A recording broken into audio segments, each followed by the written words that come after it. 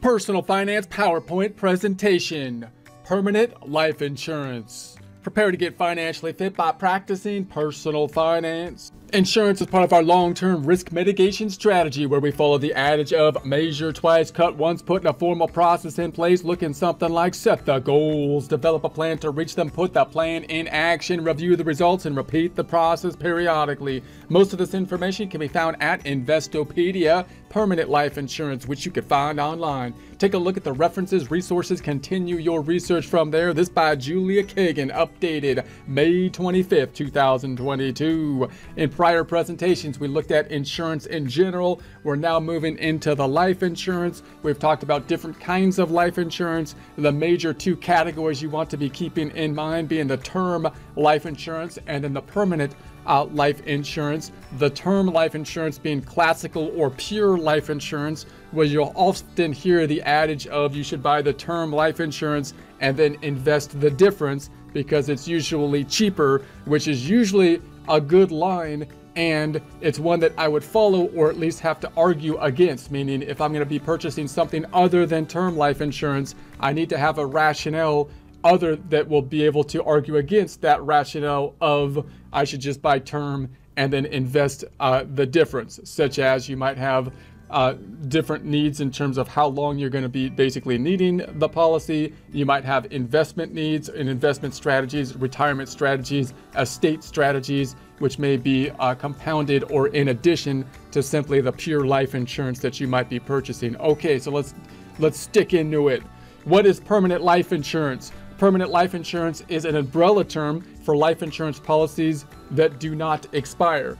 So obviously when we go from the term life insurance, that's going to be more pure life insurance, straightforward. When we get to the permanent life insurance, those are the items that don't expire. They're going to be permanent, but there's variance within different kinds of permanent life insurance. So the two, the tree of, of thought process you're thinking of is term versus permanent. If you go into the permanent side of things, then you could start to think about different types of insurance uh, plans under that tree, under that branch. The two primary types of permanent life insurance are whole life and universal life, and most permanent life insurance combines a death benefit with a savings portion.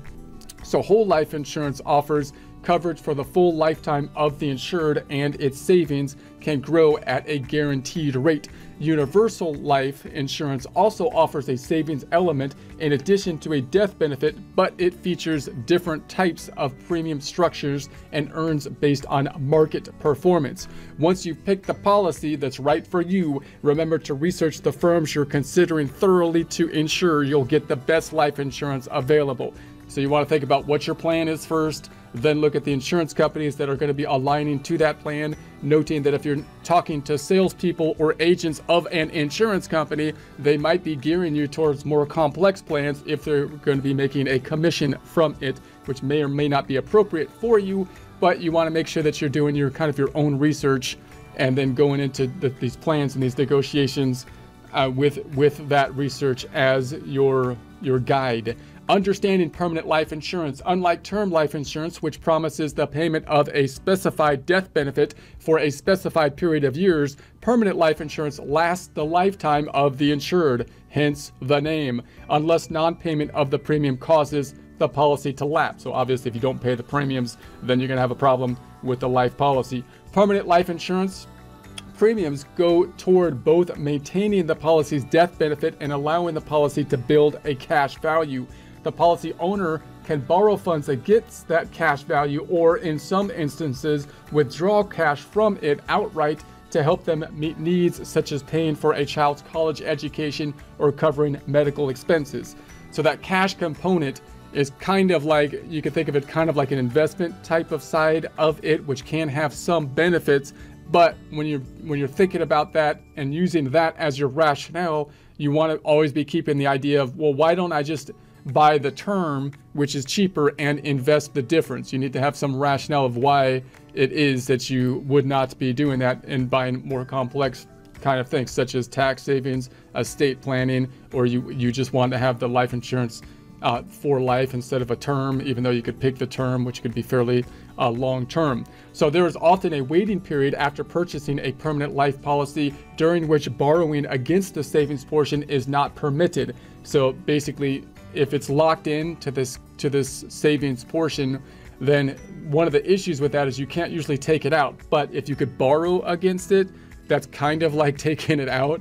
So so that could give you some kind of security which you might not have that same capacity if you say invested somewhere else, which would be the strategy that the baseline strategy, invest in term or buy term and then invest the difference because it would be cheaper. If you invest the difference in a 401k plan or something like that, you might not have that same option of being able to kind of borrow against it, which is kind of almost similar to just taking the money out. So this allows sufficient cash to accumulate in the fund. If the total unpaid interest on a loan plus the outstanding loan balance exceeds the amount of a policy's cash value, the insurance policy and all coverage will terminate. So permanent life insurance policies enjoy favorable tax treatment. So once again, the rationale for this for the term policy would be why don't I just buy the cheaper term policy and invest the difference? Well, maybe there's a tax benefit to it. Maybe that's one of the rationales. So the cash value growth is generally on a tax deferred basis. That's kind of similar to like a 401k plan or an IRA or something like that. You put the money in, you get a tax benefit, or you don't have to pay taxes at that point in time. When you take the money out, then possibly being taxable at that point, which means you deferred the taxes. You got to take the taxes later. So meaning that the policyholder pays no taxes on any earnings as long as the policy remains active. As long as certain premiums limits are adhered to, many, many can also be taken out of the policy without taxes uh, because policy loans are usually not considered taxable income. So in other words, when you take the money out, like if you think about a 401k plan or you think about an IRA, when you take the money out, typically at retirement, at those cases, you still have to pay taxes on it and and you can't really take the money out early or you get taxed from it.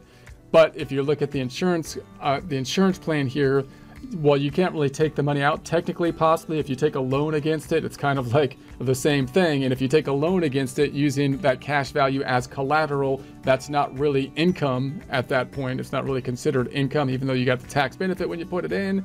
And so you might not have a taxable event at that point because it's a loan. Generally, with withdrawals up to the total of the premiums paid can be taken without being taxed. Permanent life insurance versus term life insurance. Different people have different insurance needs at different periods of their lives. Term life insurance is popular for its lower premiums, but it usually will expire uh, usually will expire well before the end of the policyholder's life. So if you're looking at term, usually you're buying life insurance to cover people that are dependent upon you over a certain time frame. And the hope would basically be, well, I'm going to wait till these children are grown, my mortgage is paid off, or something like that. Once my debt is paid off, once people are no longer dependent upon me because they're old enough, which would be like 20 to 30 years for something, then possibly I don't need the life insurance at that point, and possibly I have enough assets to be self insured in the event that I die, meaning I have more assets than liabilities and possibly I can leave those assets to, to, people, for example. While the aim is to have paid off most debt and other financial obligations by that time, while also accruing significant savings to make a large amount of life insurance unnecessary, some people may find that they prefer ongoing coverage and savings opportunities, might want a new permanent policy. So you might say, well, I would rather have the permanent policy, you know, even though I'm hoping that at retirement, you know, once I'm like 60 or something like that, that I'm that I, I don't have people that are uh, dependent on me in that way, and hopefully I have my debt paid off at that point in time, and so on. Because hopefully you're thinking that the life insurance is covering the people that are dependent upon you when possibly you have a family and you're taking out a loan and a mortgage and that kind of stuff in the middle of most people's lives. So for this reason, many term life policies offer the option to convert to permanent policies later, often without the need to take medical exams or otherwise qualify again. So you could get a term policy that has the capacity to convert if necessary which could be a, an option to look into, then you kind of get the best of both worlds if your option is to say that you would like to have the insurance available to you at the end of the term if necessary.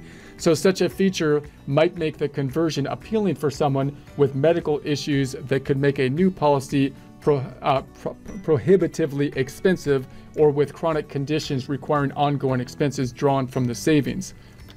So while the premiums for permanent life insurance are much more expensive than those for term coverage, those who would sign up for such policies have earned enough by that stage of life to afford them. With the added opportunity for savings, they can also use it as a tax favorable investment vehicle to cover the needs of lifelong dependents or the estate planning purposes. So, estate planning obviously gets into more complex kind of scenarios and uh, with the estate planning. So, possibly you might have estate planning because you might have like a death tax or something that you're trying to uh, account for or avoid. Those are typically going to be more wealthy individuals planning. If you're thinking about normal tax planning, then oftentimes you might be saying, hey, maybe it would be better for me to take the money that I was going to put into the life insurance and just buy term and invest the difference in a 401k plan or in an IRA. But what if you've maxed out the IRA? If you've maxed out the IRA, then possibly you're looking for another place to get a tax, you know, a tax incentive at that point in time. So that might be another kind of place or area where you'd be looking for. And then you have those other kind of benefits, which could be that you have that cash value that you possibly could borrow against in the event that you needed to, which you might not have as much capacity to do if you had the money in like an IRA, 401k, 403b, or something like that. Advantages and disadvantages of permanent life insurance. There are pros and cons to purchase permanent life insurance. If you can afford the higher premiums, the permanent life insurance allows you to provide a death benefit to your beneficiaries without a constraint of term life insurance. So obviously the term insurance is going to end at the end of the term. So and obviously if you're getting to like it's like the, the life insurance is going to expire within one year, and then obviously your whole family probably conspires to kill you at that point in time so they can get the policy. So if you have if you have the, the life insurance permanent, then you don't have that time frame where where that happens. So, but it, obviously the term life insurance ends at some point in time. It's a term. So the permanent life insurance policy allows you to invest in an account with a tax advantage, which you can borrow from or use during the lifetime of the policy as well. The downside to purchase a permanent life insurance policy are the high costs of the premiums, which is why you often hear the adage of, why don't I buy term and invest the difference, right? That's what you need to argue against. What, what kind of strategy do you, are you aiming for with the permanent life insurance to to not do that adage, right? To not just buy pure life insurance and invest the difference. So the risk of not being able to afford to keep up uh, the, the payments and spending down the cash policy so much that it eats into the death benefit. So what is permanent life policy? What is permanent policy life insurance? Permanent life insurance is life insurance policy that, unlike term life, doesn't expire until the death of the policyholder. So it usually comes with a cash value saving component. What are the four types of permanent life insurance? There, uh, the four types of permanent life insurance policies are universal life, whole life, variable universal life, and variable life. What is better life insurance, term or permanent? I'm expecting a yes or no answer here. Which is better? Both term and permanent life insurance can help you protect your loved one's family. That's not, that's, yeah, that's an evasion of the, that's, I want a yes or, what kind, uh, so, so the kind to buy should be the one you can afford to pay premiums on. So obviously you want to be able to afford it. Permanent permanent lasts longer and has a cash value component, but its premiums are usually much higher than term life insurance. Can you cash out permanent life insurance?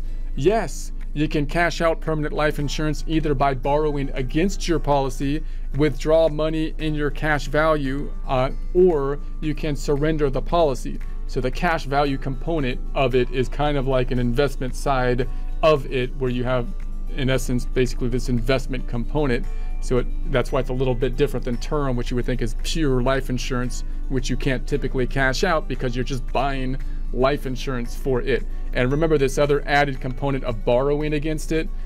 I mean, you might say, well, if the government says you can't pull the money out because you put it into this under this umbrella and we gave you a tax benefit and you say well can i take a loan against it and use it as collateral if you could do that well then you kind of borrowed the money and you're basically doing what the government does. That's kind of what the government the government didn't tap into the social security funds or anything like well they borrow it again. Isn't that the same wait a second isn't that the same thing? So that's kind of a workaround type of thing. So if you do the latter you may be forced to pay fees and taxes on your withdrawal. So that's what the borrowings kind of work around for. How long does permanent life insurance last? If you pay the premiums on your policy and do not let the policy lapse or surrender it, a permanent life insurance policy will last for uh, your lifetime. That's that's hence the name.